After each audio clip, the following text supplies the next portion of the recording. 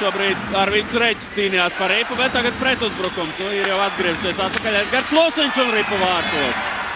Atcīt Edgars Losiņš šo priekšu. 15. minūtē viesi gūst vārtus. Jā, nu, Skatāmies. Krasnas Viņš izdarīja pats, metienu pats un arī pats arī. paspēja. Jā, Krišāns Rēdlīgs. Zailovs pārtver ripu un Gavrīnins. Ripa vārtos, ripa vārtos. Ulova. 8. numura piespēles. Vārtus. tas ir Savčenko, otrs aizsargs. Un ripa vārtos, ripa vārtos. Un atkal šī pati mājiņa. Tagad Ženaulovs tur. Bet, nu, labāk par to nedomāt un uz to nepaļauties, bet censties. Krasnas Slobodcevam, Jākaps Rēdlis. Es tur nevienu no partneriem nav. Tā kā uzbrukums turpinās. Dalmēr piespēle vārtu priekšā. Jā, visi mūsēji bija aizslidojuši uz vienu pusi.